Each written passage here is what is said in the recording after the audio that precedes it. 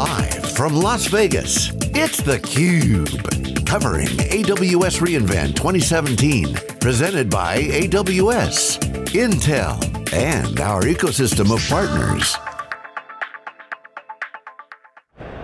Welcome back to theCUBE's continuing coverage of AWS reInvent 2017. We're live from Las Vegas, day three. There's still a ton of people here. We have uh, a great guest next that we're excited to talk about. Mark Kelly, the Director of Cloud and Infrastructure uh, Services Architecture, talking with myself, Lisa Martin, and my co-host Stu Miniman. Mark, welcome to theCUBE. Thank you, glad to be here. So Scripps Networks, tell us a little bit about that. I know a few things, HGTV, Food Network, I watch those a lot, but tell us a little bit more about Scripps Network. So Scripps, when I say that name, most people do not know it, but we are the leading provider of home, food, and travel uh, content for broadcast, the web, and for emerging technologies at this point in time. So We've got a lot of brands in our umbrella. You said HGTV, we've got Food Network in there, Cooking Channel, DIY Network, Great American Country, and Travel Channel. Yeah, so Mark, I, I know my family binges a lot of these shows, Absolutely. so uh, take us a little bit, you know, what, what's happening in that industry today? Say, you know, binging versus, you know, watching online, cloud, digital. Um, uh, the, the, the, joke, of course, is that at least things are, you know, pretty stable and not changing in your world, right? Oh no, yeah, absolutely. it, it is uh, changing on a very rapid pace. So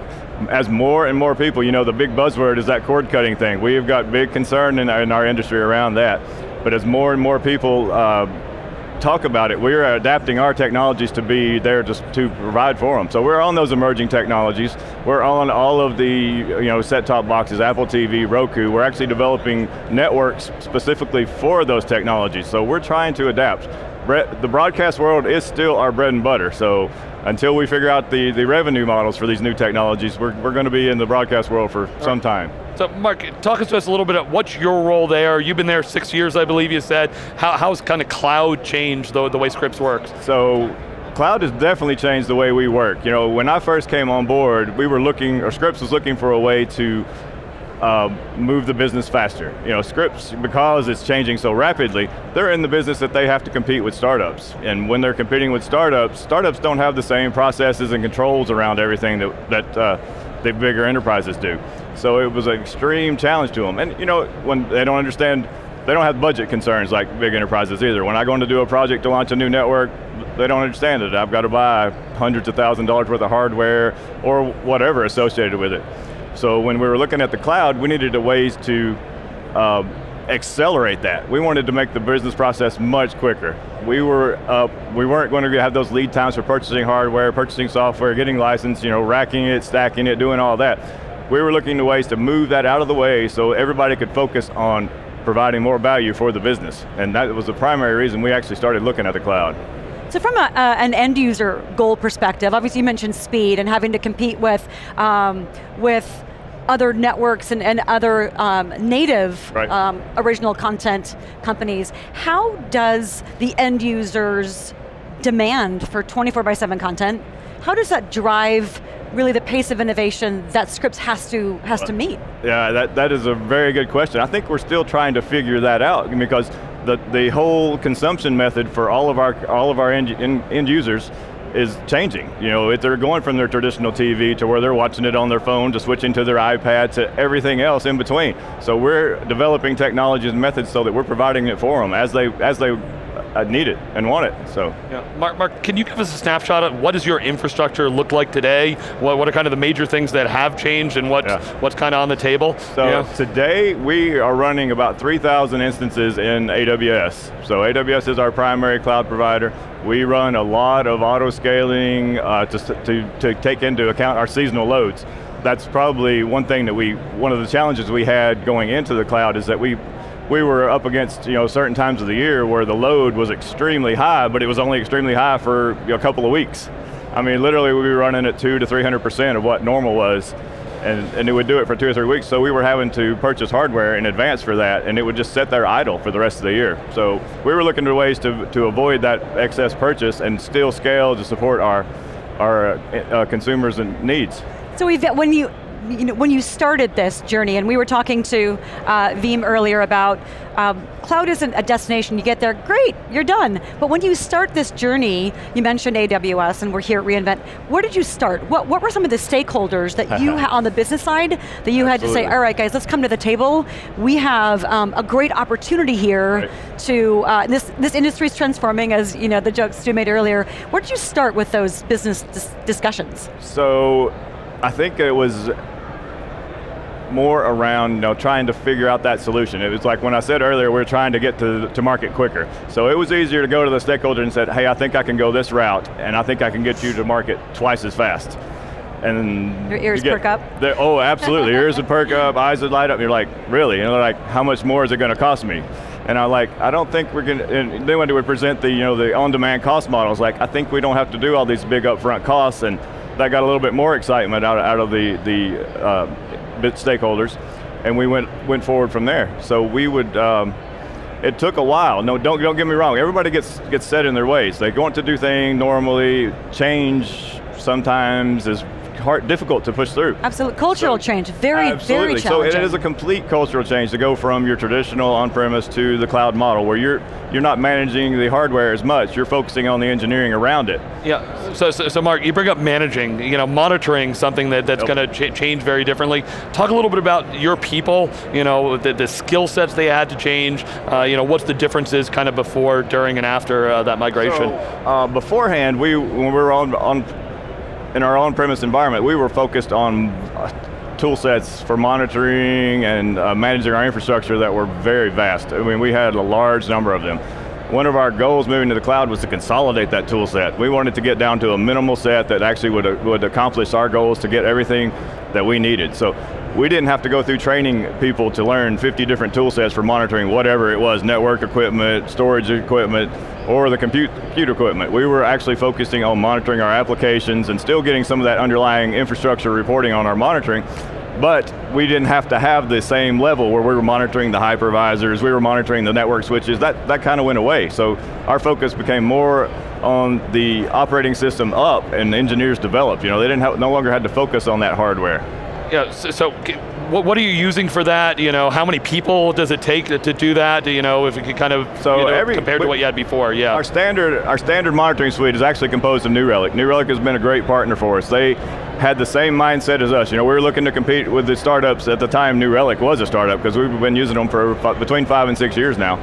Uh, we brought them in because they had that same hunger and mentality that we were looking for. Their, their culture matched really well, and we got in and, and deployed all of their, their suites uh, to every environment. We actually leverage it in from development up through production. So we try not to separate our monitoring, we try to keep it all uniform. So our troubleshooting gets a lot more, lot simpler. We actually uh, have the same people monitoring our dev stacks that are monitoring our production stacks so they can troubleshoot and help get through there. It became a lot easier for them to do that. Yeah, I, I, could you talk about kind of how many people you had kind of managing infrastructure before versus the monitoring and you know some of the training that they had to go through or? So um, before it was all specialized people. I don't even have that. I couldn't even give you the, the head count because I mean most of that was before my time. Yeah, yeah. Uh, but every individual was actually specialized on each application for monitoring. So it was actually teams that would focus on each part of the business. So as we migrated into cloud, we became more standardized, made it simpler. We actually have our my cloud team. Um, is really between about 15 and 20 people. So, and we're monitor, managing 3,000 3,000 instances in AWS and about six petabytes of storage. So we've got quite a bit of uh, uh, content up there already. And you're on the customer advisory board for New Relic. So you, you, mentioned cultural alignment between Scripps and, and that vendor, and that's really key. But talk to us about this collaboration, and it sounds maybe bi-directional, that you're able to maybe influence some of the things and help them make their technologies better. Absolutely, we've got a really good relationship with them. So anytime we have a challenge, you know, one of our current challenges is serverless. You know, as we move, we have a lot of development teams that want to move into serverless we've been working with the New Relic teams and, and giving feedback to them on what our challenges are with that and how we're monitoring it, because we've got certain things where I want to be able to monitor those functions in serverless, and I need to give a, a cost back to my stakeholder to say, this is what your cost. It's challenging to do that now, but we're working with the New Relic team to help them uh, deliver some of that knowledge to us. Uh, Mark, you hit a hot button for me. So bring bring us inside. You know, why serverless? You know, what are you hoping to gain from that? You know, I, have seen New Relic actually has been yeah. tracking for the last couple of years adoption of containers and serverless. Uh, so containers and serverless is kind of the the new hotness. You know, we've been moving into uh, serverless primarily because it, again, it's that next iteration of speed for us. It makes it even simpler for the developers to get started. It gives them, a, we can give them a standard framework. They can start developing their code and just push deploy and it's running and they don't have to worry about any infrastructure or managing anything. the, again, the challenge has been the monitoring part of it, but we're working through that and actually getting pretty good results out of it so far.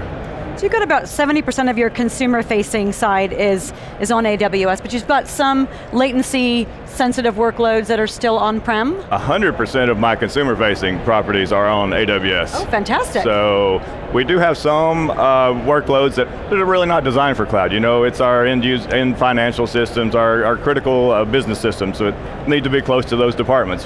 Those actually uh, still live on premise for us. And you know, when we started this journey, the on-premise was, it was, a, it was a slow, horrible process, but as we've evolved the cloud, they've evolved that on-premise stuff to keep up with them as well. We're actually looking at you know, some of the other monitoring uh, solutions out there. New Relic has been an option for us to actually look at uh, on-premise well, uh, monitoring as well.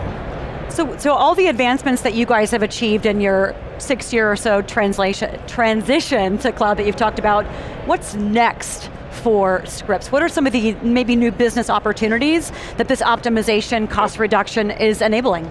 Um, so next for us is actually uh, machine learning and AI. We have large initiatives going on that right now where we are trying to uh, analyze our video, analyze our content, you know, lots of it's for to help remove some of the manual processes that we have now, because a lot of that stuff when you're delivering to our different partners, there's certain requirements around the video, and the only way to do it right now is with eyeballs, watching the video, so it's just somebody sitting there watching it for hours and hours a day.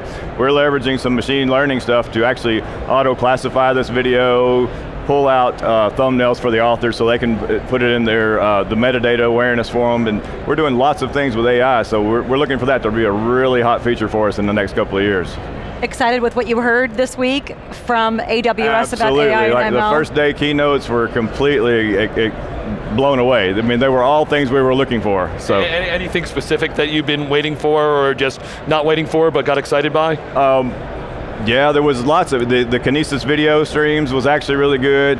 Um, the video API, I am drawing a blank on the exact name of it, but that one actually has some really good features for us because we are looking to do exact things that that one does, where we're looking to pull uh, timestamps out for when stuff shows up in videos and, and provide that back to our end users where they can search and find things in the videos much more quickly.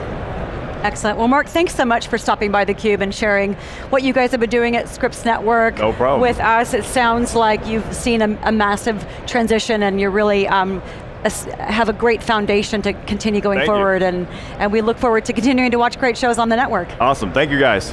And for my co-host Stu Miniman, I'm Lisa Martin. We would thank Mark for stopping by. You're watching theCUBE's continuing coverage from Las Vegas of AWS reInvent 2017. Stick around guys, we'll be right back.